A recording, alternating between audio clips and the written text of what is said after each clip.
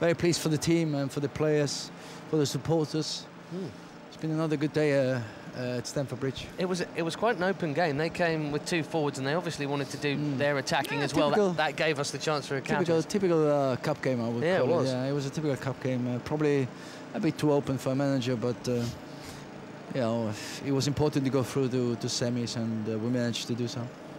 You uh, obviously you're able to make a lot of changes. There's so much effort put out there for two hours, of course, on, on Wednesday mm. night by a lot of the players. But the people you brought in performed very well indeed. And um, Fernando, in particular, of course, got those two goals and made two more. You must have been just as pleased with that, the way he set up his. Well, I, I, looked at the the cup game against Birmingham, mm -hmm. and it was only two changes from that game. You know, Bosingwa and Sturridge coming into the starting lineup from right. that game. That what I looked at because I thought it was going to be a similar game mm -hmm. against Leicester.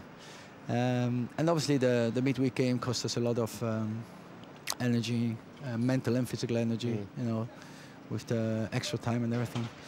But uh, fortunately, we have a fully fit, fully fit squad and uh, trying to utilize those to the best uh, because we have so many games coming up, uh, crucial games, and you know if you always play the same guys, you, you're going to burn them out.